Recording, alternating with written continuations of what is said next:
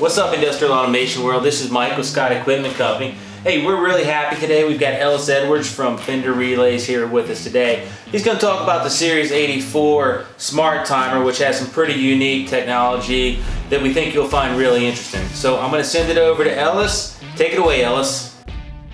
Thanks, Mike. My name's Ellis. I cover the Southeast for Finder and I'm based here out of Atlanta. Today I want to tell you a little bit about a great product we have, our 84 series. This is our 8402. This is a two channel digital multifunction timer. So uh, let's start with a point of comparison, something a little more familiar, our 80 series. This is our 8001. Multifunction, multi-voltage, uh, and this has six timing functions available to it. So I think everyone's worked with something similar to that.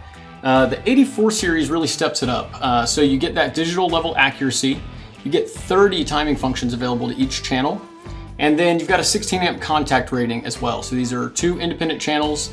This little joystick here can program the timer, uh, so you've got sort of a manual intervention there, but let's treat that as a last resort.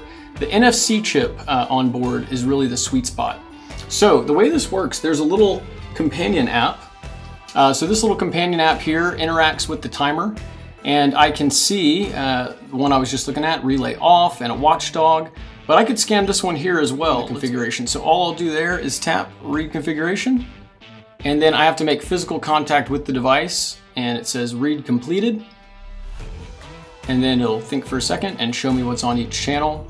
Same process for writing to the device. I can save a configuration profile in the app. I can send configuration profiles between other apps.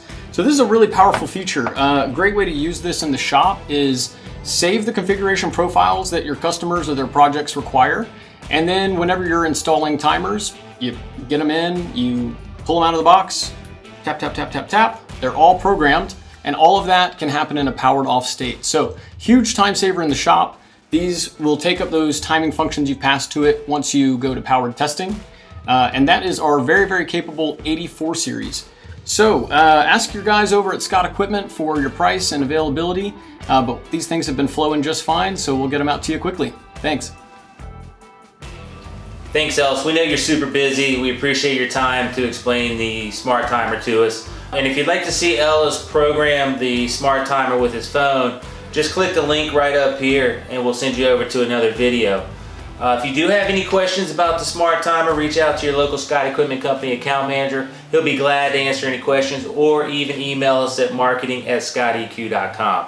We appreciate you taking the time to watch our video today. Be sure to like the video and subscribe to our YouTube channel for some more great industrial automation videos.